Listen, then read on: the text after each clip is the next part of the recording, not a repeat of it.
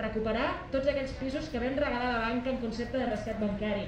Han de tornar a mans del poble a complir la seva responsabilitat social no en forma de caritat i regal, sinó en forma d'obligació absoluta i legal. Per tant, instem al govern a que faci la seva feina en el marc de la llei de vivienda i faci que retorni a les famílies el que se'ls va robar en el seu moment. Passant a l'obra social, el que es dedica és a augmentar els lloguers i expulsar les famílies i a generar encara una, i aprofundir encara més amb la crisi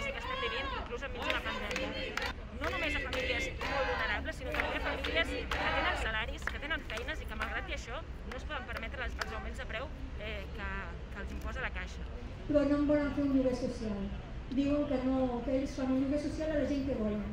Jo m'emparo la llei 24 2015 perquè compleixo tota la normativa, estem lluitant per aquesta llei, hi ha molta gent afectada i està agafant-se en aquesta llei i el banc no fa cas. La hipocresia d'aquest banc és inadmissible. Per una part, eh, pretenen donar la seva bona part a una fundació de Caixa, obra social,